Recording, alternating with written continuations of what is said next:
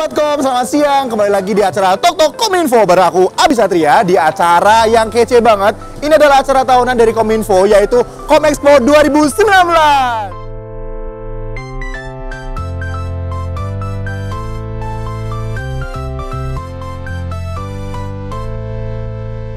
Di Komexpo 2019 ini ada banyak banget satker, salah satunya adalah Bakti. Kita tanya yuk, kira-kira Bakti itu apa? Dan programnya apa aja sih, Mbak? Halo, Mbak. Dengan Mbak siapa? Ayo mas, Oke, jadi Bakti itu apa, Mbak? Dan programnya apa aja? Eh, program bakti itu ada empat mas. Ada palaparing, akses internet, BTS, sama nanti ke depannya ada satelit mas. Oh, itu tujuannya biar tercapai apa sih, Mbak sebenarnya? Eh, tujuannya kita untuk menghubungkan seluruh eh, koneksi telekomunikasi yang ada di seluruh Indonesia termasuk pelosok sampai nanti keluar. Oh, biar merdeka sinyal. Ya, rencananya untuk merdeka sinyal. Tahun Tahun eh, kalau untuk satelit 2023 rencananya. 2023. Ya. Siap. Makasih, Mbak. Iya, sama-sama. Nah, ini dia Pak eh, apa petanya nih. Tuh, Palaparing Indonesia. Nah, sekarang kita coba explore yuk beberapa booth yang ada di Komexpo ini. Salah satunya adalah booth Aptika. Yuk, langsung aja. Dengan Mas Apa siapa kabar? ini? Mas Leski. Mas Leski, ini di boothnya Aptika. Iya, ini ada tulisannya tagline-nya Get Digitalization Go Stronger. Ini artinya apa, Mas? Nah, seperti yang sering dijelasin Pak Semi ya, kalau tiga pilar Yaptika itu transformasi digital pada masyarakat, Oke. transformasi digital pada dunia bisnis, transformasi digital pada pemerintahan. Jadi intinya kita mendigitalisasikan untuk lebih kuat lagi. Di pemerintahan juga gitu ya. Ah, iya. Oke, di boothnya sini ada apa aja nih? Itu ada game apa tuh? Itu ada game ada game Kahoot, Hah? itu ada game juga muter nanti dapat hadiahnya apa gitu. Oh, bener dapat hadiah juga ya? Iya dapat hadiah Siap. juga. Terima kasih, Mas. Iya. Langsung coba kita cek ke booth yang lainnya yuk. Nah sekarang ini ada di tengah-tengah, ini ada boothnya Balitbang Smart Fun tuh bisa dilihat di sana Balitbang SDM Kominfo. Kayaknya lagi ada main-main dan juga ngapain nih? Kita coba kepoin yuk.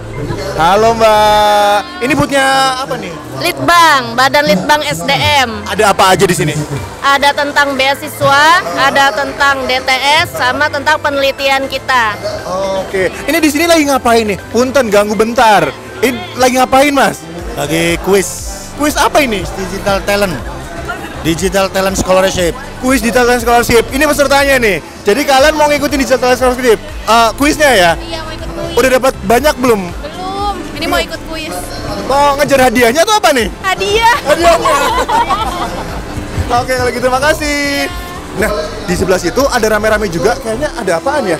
Kita coba cek yuk, yuk, yuk. Halo Mbak, ini dari BPPTIK ya? Ini apaan ini? BPPTIK tuh apa? BPPTK itu adalah Balai Unit Pelaksana Teknis eh, di bawah Badan Litbang SDM. Tugas kami adalah untuk pelatihan dan sertifikasi Angkatan Kerja Muda dan ASN.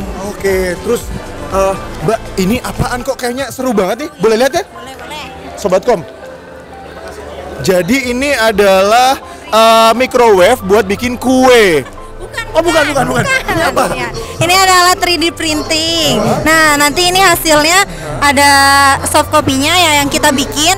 Ini dari ini dua jam. Nah, nanti hasilnya hasil kayak gini. Contohnya, salah satu contohnya. Nih. Ya. 6 1, 2, 3, 4, 5, 6 Nah Sobat Kom, ini adalah ular tangga Gen kece IKP Jadi di ular tangga ini, itu kalau misalkan ada konten jahat, konten negatif Hoax contohnya, atau mungkin konten negatif Itu kita akan turun ke bawah. Tapi kalau ada konten bagus, kayak misalkan aduan konten Kita langsung bisa naik. Wah, kece. Dan bisa dapat hadiah juga di boothnya Dejen IKP ini. Kita langsung tanya-tanya yuk ke mbaknya. Halo mbak. Jadi ini ada permainan apa aja nih di Dejen IKP? Yang pertama, nanti mainnya ada di layar, terus Hah? ada ular tangga, Hah? terus ada challenge-nya yaitu upload foto di Upload foto. eh, JJKP ini. Dapat hadiah ya? Dapat hadiahnya diundi pakai ini. Oh, hadiahnya ada apa aja banyak? Banyak banyak banget ada tumbler, speaker bluetooth, kaos, terus apa lagi kakak? Sedotan itu ya. Oh, mobil? Brosurnya ya? Oke deh kalau gitu, siap. Terima kasih. Eh sebelumnya, mampir ke DJ KP ya butnya ya, siap. Di depan sana itu ada eh, beberapa hal-hal yang jadul, ada radio sama TV jadul. Nanti kita lihat sedikit ke sana yuk, baru habis itu ke booth yang lainnya. Nah, di sini di awalnya di Jenny Cafe itu ada eh, radio jadul dan juga TV Cembung. Jadi di sini tuh digambarin banyak banget informasi mulai dari awalnya ada komunikasi sampai ke sana tempat tadi kita main ular tangga. Makanya hashtagnya apa? Tuh, beda generasi, beda komunikasi, tapi tetap satu hati.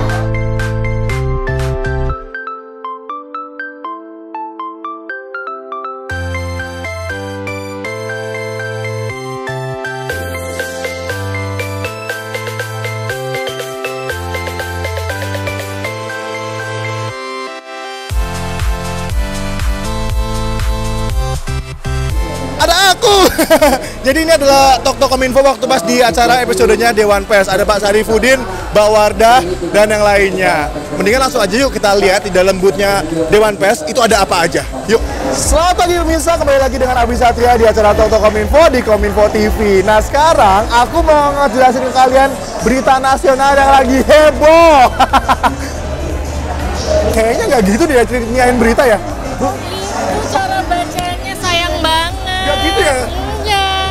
Cara bacain berita bukannya gitu? Bukan dong. Kalau cara bacain berita tuh harus tenang. Tenang. Iya kan? Jangan buru-buru karena kalau buru-buru eh, pendengarnya atau pemirsanya nggak paham mau ngomong apa gitu loh. Kalem aja Kalau aja ya Bu ya, ya. Jadi sekarang aku lagi ada di boothnya Dewan Pers. Di boothnya Dewan Pers ini itu ada satu sudut yang kita bisa pura-pura jadi news anchor, pembawa berita dan lain sebagainya dan diajarin juga di sini. Ini dengan Ibu siapa? Saya Santi. Ibu Santi Nah, Dewan saya Pers ya. tenaga ahli Dewan Pers. Tenaga Dewan Pers Iya. siap. Jadi di Dewan Pers itu ngapain aja sih Bu tugas dan kewajibannya? Uh, Dewan Pers itu ada banyak sekali ya tugas dan komisi-komisinya juga ada sekitar 7 sampai 8 komisi. Di situ kita uh, yang paling penting adalah verifikasi uh, dari perusahaan pers serta uji kompetensi untuk wartawan. Termasuk kayak tadi aku buat uji kompetensinya ya. Iya, kayaknya belum lulus wartawan dasar tuh yang pemula. Harus belajar lagi ya. Iya, mesti belajar lagi. Terus yang lainnya juga tugas yang penting adalah kita menerima pengaduan dari masyarakat. Jadi kalau misalnya masyarakat ada yang merasa ada yang salah ditulis peristiwanya di dalam uh, media cetak atau di media penyiaran salah dikutip, itu biasanya mereka mengadu ke Dewan Pers. Oh gitu, sambil geser ke situ yuk Bu. Ini Iya, ada tulisan iya, apa boleh, nih? boleh. Jadi kayak gitu ya Bu ya? Iya, jadi kalau misalnya Dewan Persnya itu uh, merasa bahwa apa yang dilakukan oleh jurnalisnya itu salah, uh, jurnalisnya akan diberikan teguran gitu. Sanksi gitu ya? Uh, sanksinya lebih ke administratif, jadi diberikan berupa teguran, tapi uh, apa namanya yang melaksanakan sebenarnya perusahaan di mana jurnalis itu bekerja. Karena uh, Dewan Pers tidak bisa memberikan sanksi uh, ataupun denda, jadi hanya diberikan uh, jalan keluar lah, biasanya mediasi gitu. Oke, Seperti itu. siap. Terima kasih Bu. Aku keliling-keliling lagi ya Bu ya. Oke, silakan. Siap. Enjoy ya. Makasih. Yuk kita sekarang keliling ke booth lainnya. Tahukah kalian apa itu KPI? Nah, KPI itu mengawasi berbagai elemen, mulai dari televisi, radio, dan frekuensi publik. Langsung kita tanya aja ke orang-orangnya, kira-kira KPI itu apa sih sebenarnya? Yuk, Olip. Mas Olim, Iya. siap. Mas, jadi KPI itu apa sih? Nah, KP itu Komisi Penyiaran Indonesia. Ya tahu, saya juga tahu. Itu tugasnya ngapain? Oh, tugasnya ka- kami mengawasi tayangan TV dan radio. Oh, apa aja yang diawasi sih sebenarnya di TV dan radio itu? Nah, kami mengawasi tayangan pasca tayang, setelah tayang, setelah tayang. Dan KP itu bukan lembaga sensor ya. Jadi yang nyensor siapa? TV-nya, TV-nya sendiri. Setiap, setiap stasiun TV melakukan self censorship di sana. Oke, siap. Jadi eh, kalau misalkan ada tayangan yang tidak sesuai nih, apa yang akan dilakukan sama KPI? Nah, kalau ada tayangan nggak sesuai, kami punya tim pemantauan sama tim pengaduan. Jadi setiap tayangan kami pantau 24 jam nonstop. Selain memantau, kami juga menerima aduan. Simple caranya mengadu tuh cukup follow sosial media KPI, adukan lewat sana. Oke, siap. Jadi lewat sosial media aja ya? sosial media ada telepon ada uh, SMS. SMS kita punya semuanya fa- fasilitas Siap. Kalau gitu mendingan kita bikin konten dulu gimana yang nggak bisa kena sanksi sama KPI. Berarti konten yang baik dan sehat ya. Betul. Oke. Dan sesuai sama ini pedoman perilaku penyiaran.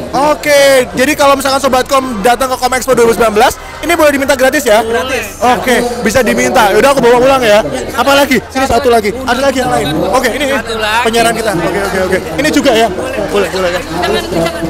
Nah, sekarang ada di boothnya SDPPI. Ini adalah sumber daya dan perangkat pos dan informatika. Di sini kita bisa dapat apa aja, Mas? Kita bisa dapat informasi tentang perizinan frekuensi, tentang regulasi bagaimana tata cara pengajuannya. Sekarang juga kita sudah eh, go online ya, maksudnya pengajuan frekuensi itu bisa kita submit secara online. Oke. Kita bisa mengakses di web postel.go.id, pilih menu pelayanan, lalu pilih izin spektrum frekuensi. Oke, Nah, siap. Nah, kalau yang di depan itu punya SDPPI juga ya? Itu apaan sih? ah, itu mobil Balai Monitoring Spektrum Frekuensi yang dari Balmon Jakarta. Fungsinya buat apa mobilnya? Nah, itu untuk eh, penindakan, eh, untuk pengendalian frekuensi. Jadi kalau masyarakat pada umumnya belum tertib memakai frekuensi, mungkin dari pihak Balmun akan coba menegur dan menanyakan sertifika- sertifikat keaslian ISR-nya. Oke, siap. Kalau gitu abis ini kita akan cek juga di depan ada mobil Balmon dan juga banyak banget alat-alat canggih buat ngecek dan juga ngetes frekuensi ya. Iya, betul Siap. sekali. Makasih, Mas. Yo. Nanti abis ini kita keluar buat ngecek mobilnya. Yuk.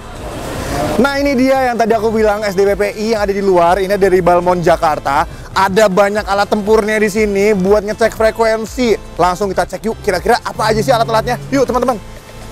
Permisi Pak. Dengan Pak siapa ini? Adit mas. Pak Adit. Siap. Pak Adit ini alat apa aja nih Pak? Ya, eh, kami dari Balai Monitor Frekuensi Radio. Ah. Kebetulan di acara ini kami membawa beberapa perangkat, yaitu adalah ada perangkat receiver PR100, Ah. kemudian ada spectrum analyzer, kemudian ada DMR digital mobile eh, radio, kemudian yang satu lagi ada software Argus yang dia di sini eh, laptop ini sudah terinstall dengan aplikasi Argus yang kebetulan ini kita remote ke dalam perangkat yang ada di dalam mobil. Oh oke. Jadi sebenarnya ini semua tuh buat apa sih? Ya, oke. Eh, kita jelasin satu persatu ya, Mas ya. Ah, ini kayaknya alat buat ngedeteksi hantu ya? Bukan? Bukan. Tapi mirip, Mas. Mirip ya? Megangnya gimana nih? Kayak gini ya? Kayak gini megangnya? Oh, tapi buat ngecek frekuensi? Ya. Oh, gitu tuh. Karena secara, Gitu-gitu. secara secara fungsi Hah? eh, frekuensi memang tidak terlihat, mirip seperti hantu. Oke. Ya, gitu. Tapi bukan hantu ya?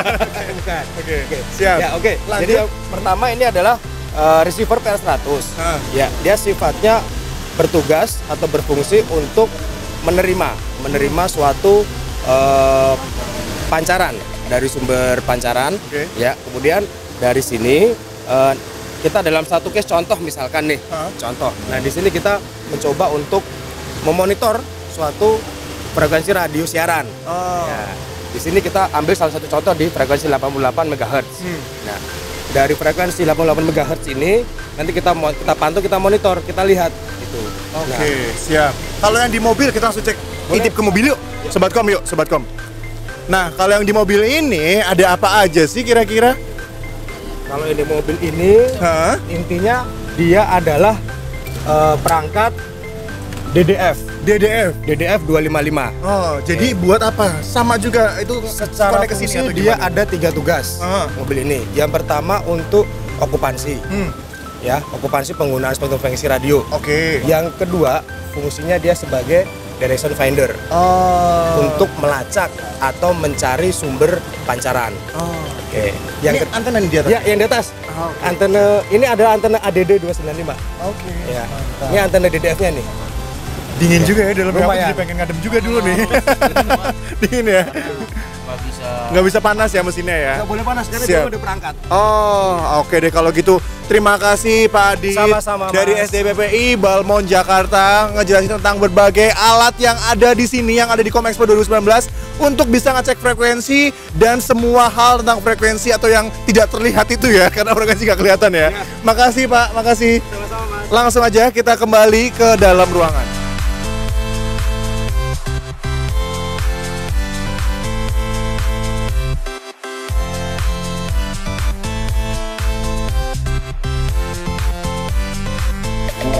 Sobatkom, kali ini aku lagi ada di boothnya KIP, Komisi Informasi Publik. Sebenarnya Komisi Informasi Publik itu apa sih? Langsung aja kita tanya yuk. Ada ada narasumber KIC di sini, Komisioner KIP. Halo Pak. apa kabar? Sehat?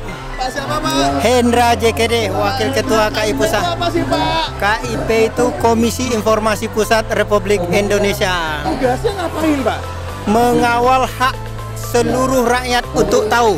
Oke, sebentar sebentar. Ini panas Pak. Eh mataku.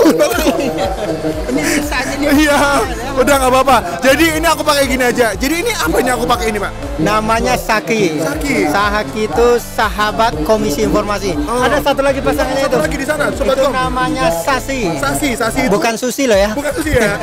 Sahabat. Sahabat transparansi. Oh, Oke, jadi di sini kita bakal bisa dapetin banyak informasi menarik seputar informasi yang bisa diakses oleh publik ya Pak ya. Bukan di sini dapatkannya. Bukan di sini. Mendapatkannya itu di badan publik. Di badan publik. Ah. Komisi Informasi itu bertugas untuk memastikan agar seluruh lembaga negara itu mengawal, memberikan hak masyarakat untuk tahu seluruh informasi apa aja yang ada di sana. Oke, makanya hashtagnya hak Anda untuk tahu. Lihat tuh Sobatkom, tuh tuh tuh tuh tuh. Hak Anda untuk tahu. Oke, kalau gitu aku tanya-tanya ke mbak-mbaknya boleh ya Pak ya? Siap. Halo mbak-mbak, dengan mbak siapa ini? Saya Indah. Mbak Ina di boothnya KIP ini ada apa aja? Kita menyediakan souvenir-souvenir menarik, Aha. minuman gratis dari promotor kita nih, Levite. Aha. Kemudian ada saya dan teman-teman. Ada aku juga dan juga Sasi. Yuk, pasti. Terus yang bisa dibawa pulang apa aja? Banyak ya? Eh, banyak, pokoknya bermain aja dengan ke sini. Eh, Siap, kalau gitu. Terima kasih Mbak Indah. Terima kasih juga, sama-sama. ke booth yang lainnya Oke, Sobatkom. dadah. Nah, ini adalah booth yang paling pojok dekat sama panggung. Ini boothnya PPI ya Mas ya? Iya, betul. PPI itu apa Mas? Ya, PPI itu salah satu Direktorat Jenderal di Kominfo, kepanjangannya Direktorat Jenderal Penyelenggaraan Pos dan Informatika. Ngurusin apa aja sih Mas PPI itu? Iya, kita selain mengurusi soal perizinan terkait pos dan informatika, kita juga ada beberapa proyek yang sifatnya non komersil tapi masih menyangkut dengan penyelenggaraan pos dan informatika. Oh gitu. Nah sekarang ngomongin Kom Expo 2019 Di boothnya PPI ada apa aja? Explore yuk Oke, Yuk yuk yuk yuk, Jadi di boothnya PPI ada apa aja nih? Ya, kita ada pamflet sosialisasi. Ya, selain pamflet kita juga ada video sosialisasi juga. Ya, kemudian kita di sini yang menarik juga ada hiburan buat teman-teman. Setelah kita sosialisasi, kita adain quiz. Jadi ada beberapa pertanyaan, ada beberapa pertanyaan lewat digital juga. Ah, nanti eh, teman-teman SMA apa siswa-siswi SMA yang ikutan game kami, kita kasih hadiah, untuk Hadiah? jawaban Ada yang benar. hadiahnya? Hadiahnya ada mulai dari flash disk, tote bag, uh, block note, kemudian pulpen, ya. Bahkan untuk untuk besok acara puncak PPI kita udah nyiapin handphone sama printer. Aku pengen handphonenya bisa nggak hadiahnya gimana caranya? Ya besok kita ada talk show kan, PPI kita kasih talk show. Nah di situ kita ada kesempatan untuk uh, bagi-bagi hadiah tersebut. Siap. Kalau gitu kita sekarang cobain foto boothnya ada di PPI yuk. Ini foto booth apa nih? Iya, kita juga ada foto booth. Jadi kita tahu bahwa uh, teman-teman SMA SMA kita itu uh, jiwa kekiniannya sangat meronta-ronta, ingin eksis. Kita sediakan selfie booth di sini bukan cuma foto biasa, jadi fotonya nanti bisa berubah jadi GIF. Jadi kita nggak ada hasil cetak, kita berusaha semuanya go digital. Jadi teman-teman yang sudah foto di sini bisa download langsung di link, tinggal scan QR atau dikirim via email. Siap, mantap. Langsung aja sobatku, habis ini aku bakal cobain foto booth yang ada di Dijen PPI ini dan besok di acara puncak akan ada hadiah juga sampai handphone dan juga printer yang ada di PPI. Langsung kita cobain. Yuk.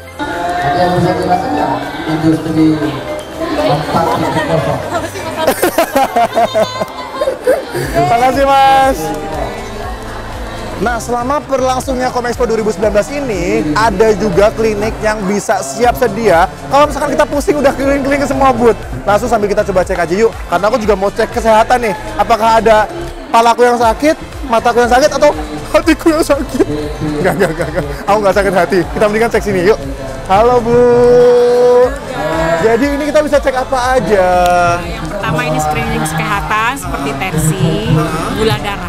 Oke. Ada hadiah juga di sini. Ada, dapatnya adalah odol untuk menghilangkan sensitivitas gigi. Jadi kalau tadi dibilang ya lebih baik sakit hati apa sakit gigi? Eh, mendingan sakit hati sih, sakit gigi susah. Kalau ngilu-ngilu dioles aja ini. ya. Oke, siap. Tapi aku bisa coba cek juga nggak? Oke, sekarang aku tes eh, tensi dulu ya. Siap. Sakit nggak ini? Enggak dong. Enggak ya. Tinggi sini. Relax aja. Cuma dulu. Oke. Kalau pengecekan nggak boleh bicara. Oke. targetnya sekitar 1.225 orang. Sulit. Sekali lagi kalau misalnya